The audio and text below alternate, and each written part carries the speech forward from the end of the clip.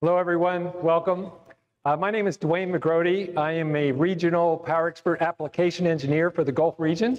So I cover Texas and all the surrounding states. Uh, I've been with Eaton for about 18 years. 10 of those years, I was a product manager for meters. And the last eight years, I've been located here in the Gulf region supporting our sales offices, uh, supporting consulting engineers, uh, work with each one of our sales offices if they want to set up lunch and learns and things like that. Today, I'm going to be talking about power monitoring and how it pertains to energy codes. Uh, I'm not going to be talking about the entire energy code, uh, just very specific sections of it that pertain uh, to the metering portion of it. So today's agenda, I'm just going to start off with the basics of metering, uh, touch on the energy codes, at least from my experience, what I've seen uh, in, in this region and talk about how we, how we solve addressing some of these energy codes with some of the products that we have. And then how does all this stuff communicate and come together to kind of meet and address these energy codes. So basics of metering starting off, you really need two measurements. You need your current uh, and you need your voltage. Starting with current, there's a variety of different ways to do that. The meter itself cannot take the amperage of a specific switchboard or panel board, uh, which is typically 400 amps, 1200 amps, 2000 amps, whatever it is. We have to step that down to typically a, a, a, another signal that the meter will accept. Uh, in the marketplace, typically 5 amps has been the secondary signal that we've seen. Uh, as time went on and as new products came out, 333 millivolt has kind of been a new standard that's come out. Accuracies are important. Uh, with the 5 amp CTs, you typically get down to 0.3 amps or 0.3% accuracy. Uh, with the 333 millivolts, they're down to 0.5%. One of the advantages of the, point, uh, the 333 millivolt is you don't need a CT shorting block. Uh, they can go directly to the meter without having to do that. When it comes to current and you're using these current sensors, there's some important things you have to uh, watch out for when you're using these. Uh, the current sensors have two leads coming out of them, a plus and a minus. And in the meter itself that they're going to connect to, there's a plus and a minus. Who can tell me what would happen if I mixed a plus and minus on the meter? Utility company pays you. Utility company pays you, exactly. So essentially, it's starting to monitor negative energy usage, which if you're using these for energy codes or if you're using these to do some cost allocation, that's a big deal. Uh, there's another marking on the current sensor that has a little arrow. The arrow says, uh, typically says towards the load. What happens if you put the CT pointing towards the source? Yeah, again, the, the utility company pays you. So you'll get a negative reading as well. So if you just happen to get the leads wrong and the orientation of the CT wrong, it'll actually work right.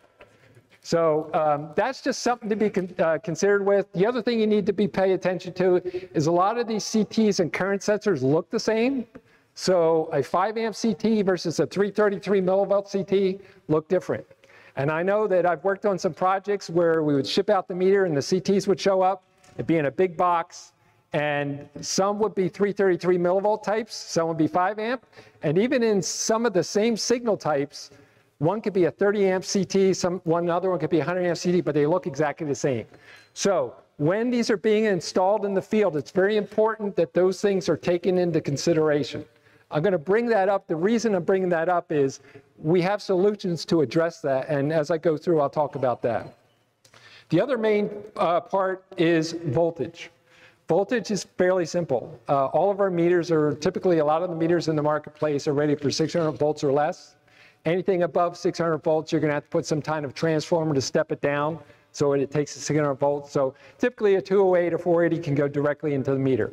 Uh, there's also a control power aspect of the meter as well. Uh, some of those can go up to 415 volts. Some of them can go up to like say 240 and that's it. And in those cases, you have to use a control power transformer to step that down. If these are installed in the factory, you don't have to worry about that. They're just going to have all the correct wiring and voltage and things like that uh, already in there. All right, so when it comes to uh, using these meters, there's usually two categories that you're wanting. One is the energy and the power, and the other is the power quality. For today's discussion, I'm going to focus on the energy and the power. Um, usually the energy and power is actually the work that's being done by the meter. So simplified, when it comes to energy, this is similar to at your home where you have a meter outside the home. It's monitoring the amount of energy you're using. So if you think about a 100 watt bulb used for one hour, that's a one watt hour. If you have 10 of those 100 watt bulbs, that's one kilowatt. Use that for an hour, it's one kilowatt hour. Use it for an entire day, that's 24 kilowatt hours. That is a constantly accumulating value. Now, when it comes to the energy codes, that's one parameter they're very interested in too. What is the amount of energy that's being used or the watt hours? The second component is power demand. So power demand is usually specified over a period of time, usually a 15 minute window is very common, that the utility is basically going to provide enough power to that facility. Now, a facility has to decide uh, when it's going to start things up in the morning. Say, let's just take an example of a facility that starts at 8 a.m. and they turn on all their chillers, they turn on all their lights, and within that 15 minutes, they turn everything on. Now, if they do that, that demand is going to be pretty high, you know, within that 15 minutes. And that's how much power that utility has to provide to that specific customer. And there's a separate charge, typically in a commercial environment, on the bill that'll say demand charge, and it'll be like so many cents per kilowatts. And sometimes that demand charge can be more uh, than the kilowatt hour charge for the entire month. So it's very important to pay attention to that specific charge and uh, power so that you can manage it and maybe start things, you know, maybe delay over that 15 minute window. And each utility is going to have a different window. It might be a 30 minute window, it might be a one hour window, just depending on the utility.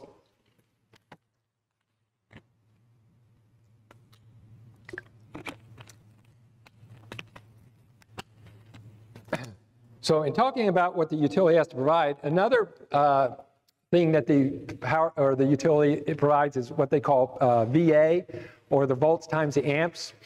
So if a facility was all electric use, you know, like electric heaters, uh, it would basically the VA that it's supplying would equal to the watts or the work being done at the facility because it would all come out as heat. But if I have a facility that has a lot of motors, uh, some of the motors are actually doing some work by turning, but the, some of the motors are also generating heat, which is actually wasted. So the VA is actually the total amount of power that the utility has to provide. The watts is basically what's doing the work, and what's left over is considered waste. And sometimes they use that uh, power factor is another charge that the utility would charge based on how efficient the facility is. So say, for instance, they might say, well, at a 0.9 power factor, we're not going to charge you anything, but below that, we might charge you a power factor penalty. And there are some things you can do to address that with capacitors and things like that. But for today, I'm just going to about the meters that are monitoring those specific parameters. All right, so why meter? There are lots of different reasons. You can benchmark energy usage. You can verify the savings from projects you've done. You can monitor the quality of the power. But for today, I'm going to focus on primarily the energy codes. Um, and if your particular metering system can meet energy codes, you can also do cost allocation. So a lot of the products and application that I'm presenting today that are addressing the energy codes are the same products that we would use to do cost allocation. We're actually allocate, allocating the energy use back to the, the tenant usage. So energy codes. The first one that I've kind of run into when I uh, started in the metering uh, world is LEED, which is Leadership for Energy and Environmental Design. Um, and basically, when it comes to power monitoring, there's a certain number of rating system that the LEED gives you, um, and the more meters you have on a project, the higher points you get towards that rating, and you basically become more of a green building. Um, but there are some requirements that LEED kind of started it all for the metering system that you'll see run into the, the ASHRAE 90.1 codes and, and most recently IECC 2021. So the whole intent is to be able to monitor the energy usage within a facility, maybe at, at specific usages, in order to be able to do something about it. The meter itself it can't do anything. Uh, basically, the action you take based on the information you get from the meter is actually where you get most of the benefit. So if you look at the actual requirements, uh, I know this is kind of small here. Uh, the whole building source needs to be monitored, the entire building. Uh, the meters actually have to be permanently installed, so you can't put something temporary out there. it has to be able to store at least three years worth of data and it has to be able to do some reporting back hourly, daily, monthly, and yearly usage. That has to be able to come out. Um, the next thing is ASHRAE 90.1. How many have heard of this energy code? So how many heard, have heard of ASHRAE 90.1 2013, and then 16, and then 19, and 2022? So every three years they update this. So uh, I did a little bit of research and I put the link on here uh, where you can actually look at ASHRAE 90.1. Over since 2015, since I started monitoring this, uh, 19 states have, have adopted 2013. 2013 is where they started uh, defining ASHRAE, uh, the, the individual categories that you need to monitor. Um, there are nine states that have actually done 2016 and 2019, and this is actually growing. So this was actually as of December 2022. Uh, I put a link on there uh, that where I can get this information from. It's a government link that actually tracks this uh, specific information.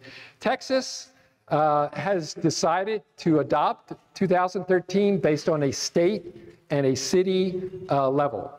Uh, and when I see this on projects, sometimes it's out of state project, sometimes it's just decided that that particular owner wants to follow the latest energy codes. And uh, 2013 is the minimum as far as like doing energy uh, classification and sorting. So the requirements for ASHRAE uh, 91 is a specific section within 90.1 is 8-4.3. And uh, I put a link there on the bottom right that you can go to the ASHRAE website and do a read-only version of it. And that's where I got a lot of this information. Uh, you don't have to uh, purchase it, but you can actually read through the information and what, what these codes mean. So five different categories that it's requiring. Total, uh, the total building, total HVAC, interior lighting, exterior lighting, and receptacle loads. So each one of those individual categories have to be broken out with the metering system. And there are different ways to do that, and I'll go, and I'll go over that. In 2016, they added the addition of chilled water plant metering, which is actually uh, covered in a different section within ASHRAE 90.1. Actually, it's actually under uh, section 6, and I'll show that. And then in 2022, which I haven't really found a published version, but I did find like remarks on 2022. And it basically said that if the refrigeration load is more than 10% of the entire building, that needs to be monitored as a separate category as well. So this was the chilled water plant monitoring that uh, came out in 2016. It's actually from section 6.4 which is where the building management system is basically located, where they define that. And basically, big water cooled chiller systems, uh, air cooled systems, those are the kind uh, that they're wanting to monitor the specific electrical usage of those devices. And then they want to do an efficiency calculation. So ideally, the chilled water system would probably go back into the BMS system to do some of these calculations. And I'll show kind of like what happened in 2016, where they required uh, if a building had a digital control system, like a building management system, they want all that data to be fed up through that system and do the separation of the loads, uh, different categories and things like that. Now, there are products out there like the meters themselves, they can do that as well. They can break out all these different categories between lighting and receptacle and HVAC, and they can feed that information up to BMS, or BMS can do it independently.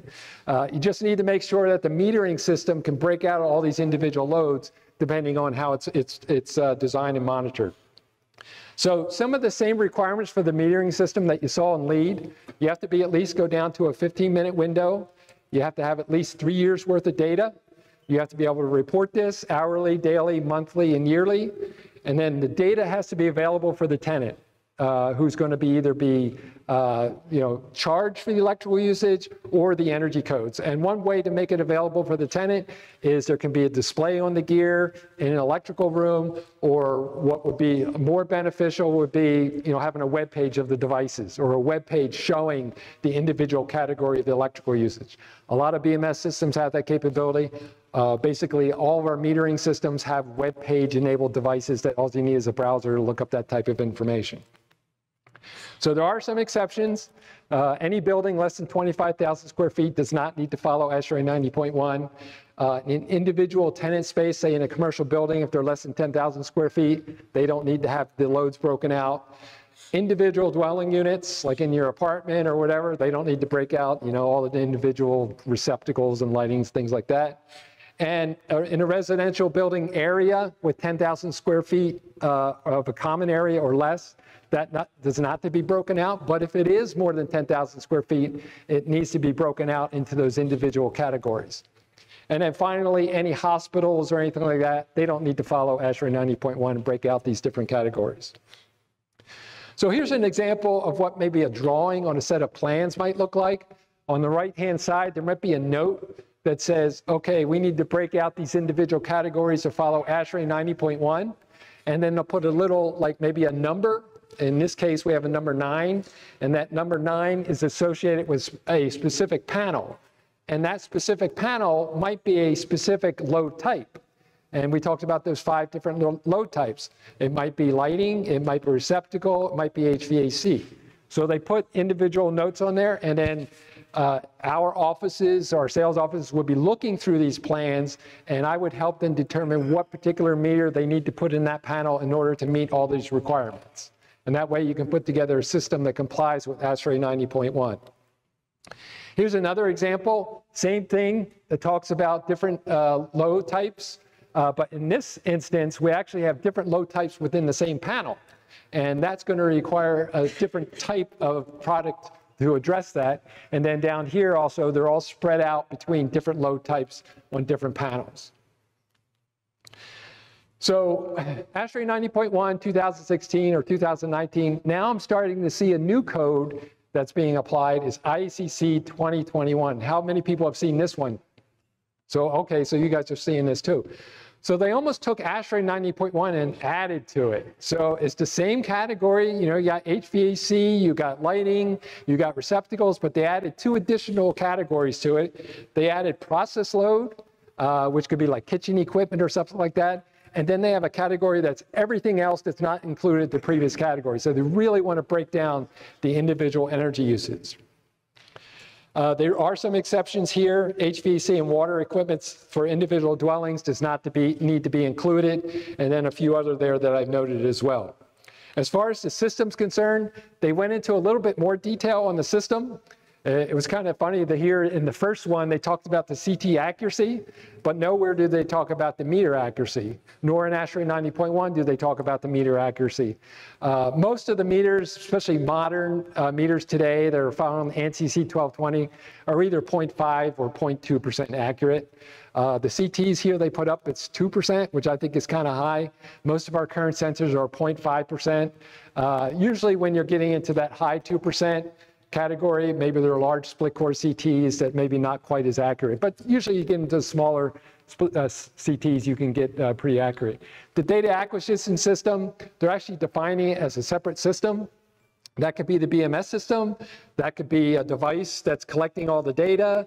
Uh, that could be all the individual meters that have at least three years worth of data logging on board that you basically just grab the data and then bring it up. And then finally, a graphical reporting system.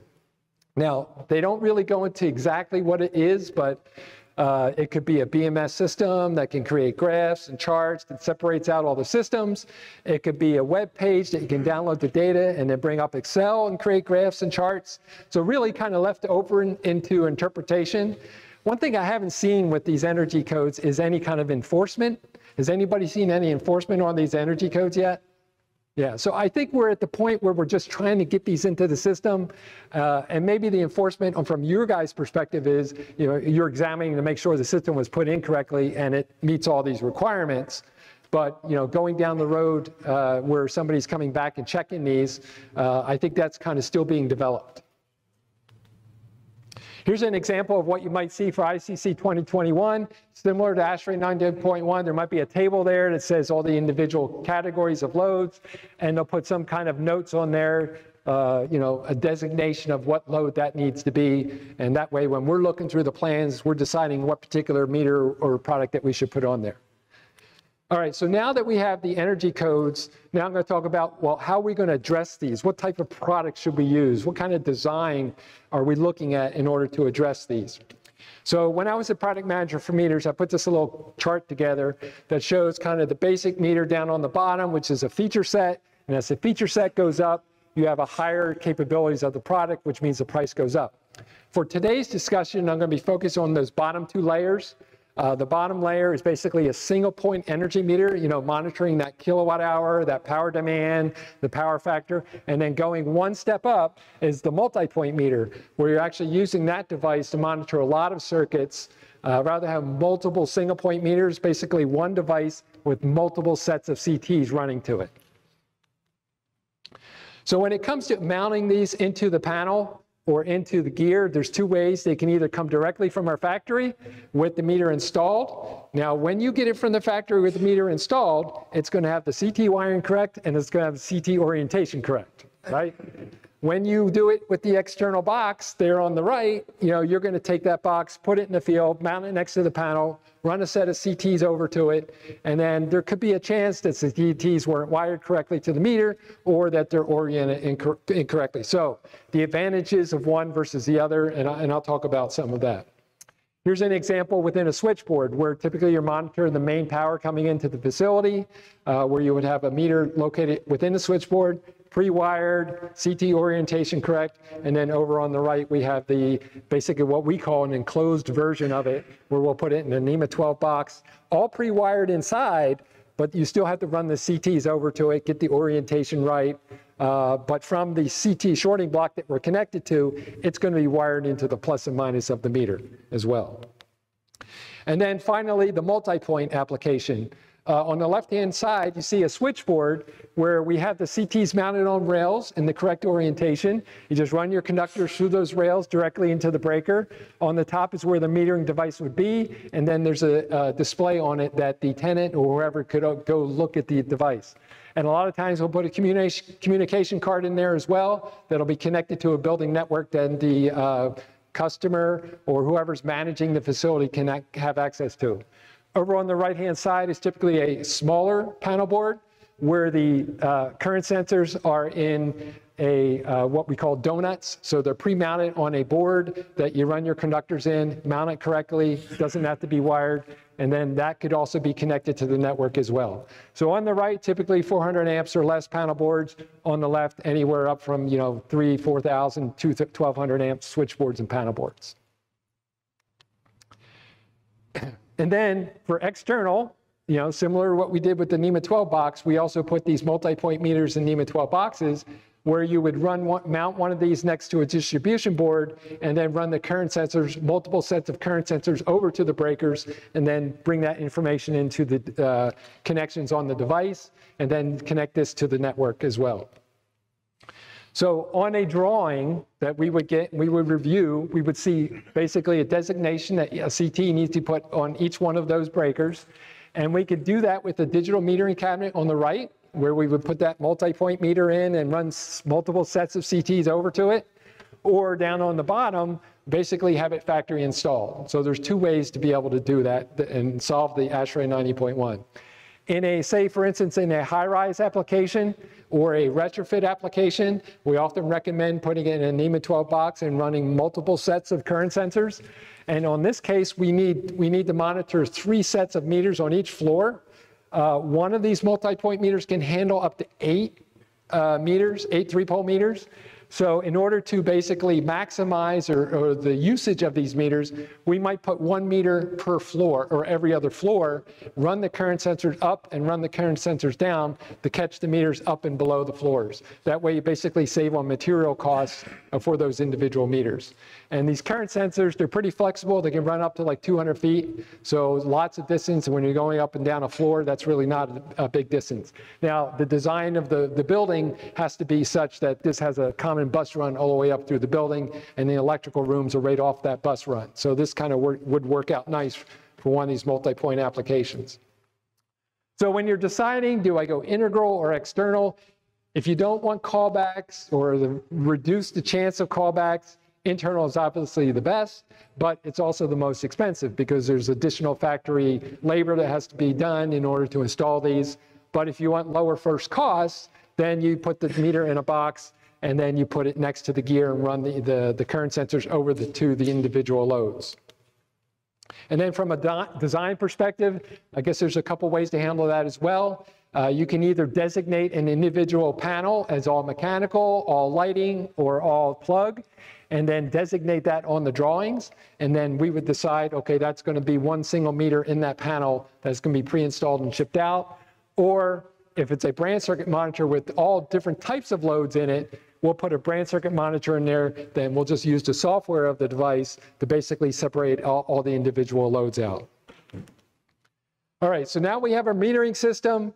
We are, we've addressed our energy codes, but now we got to get this information back up to some other system. And we'll do that with communication. And there's two ways of communicating. There's serial communication and network communication. One of the most common serial communication protocols is Modbus RTU. And a lot of times we will daisy chain multiple devices and bring that to a device that would bring it out, a network device. Or they can connect directly via Modbus TCP, or very commonly with BMS systems is BACnet IP. So a lot of our meters basically cover most of those protocols. So where you're bringing those Modbus RTU or daisy chaining devices in, that would come into a device here. We call it a gateway or some type of processor or storage device that also has that three years worth of data logging capability in it. You would basically come in the bottom of this with the Modbus RTU daisy chaining in, and then out would come the network portion of it.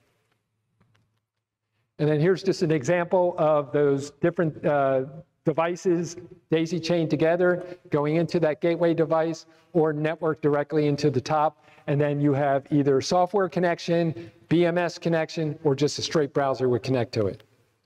All right, so now that we got all that, let's talk about what a solution might look like. So remember, this is an example I showed before of what, uh, you know, you had a designation of the nine up there, each one of those panels.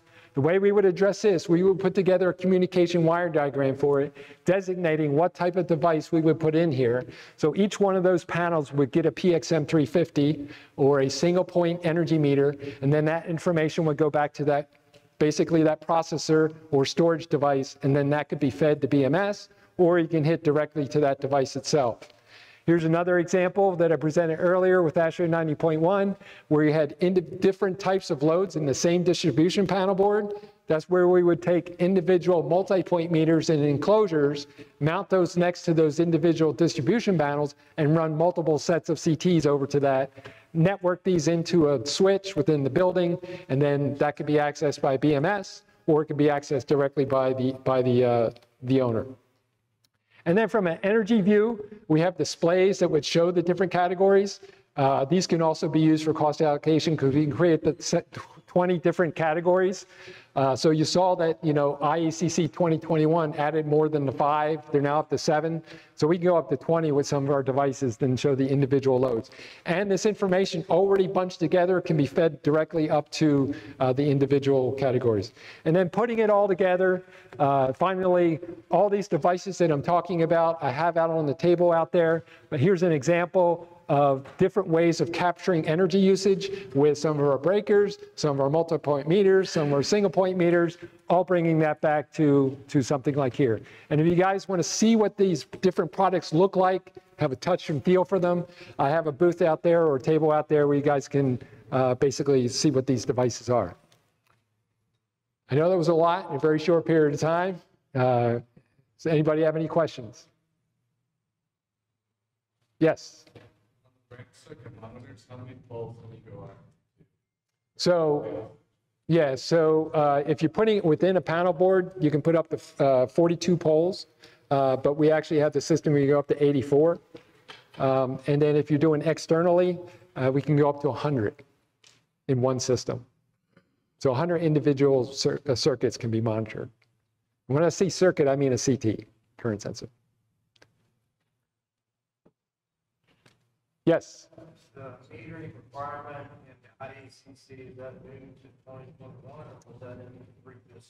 Yes, that is new. Uh, the, the question was, is the metering requirement for ICC 2021 new? Yes. Uh, the previous was 2015, And the only monitoring there in 2015 was an individual tenant needed to be monitored. And Texas right now is ICC 2015, um, but I am starting to see IC 2021 on the drawings. Certain jurisdictions have adopted it? Yes. State will be adopting. The state will be adopting by the end of the year? Okay. It's good to know. So we'll be seeing more of that. To ICC 2021? Uh, I I had a slide on there. I did have some exceptions at the bottom, like I think one of the things I covered was individual hot water heaters don't need to be covered, but there, there were two others in there as well.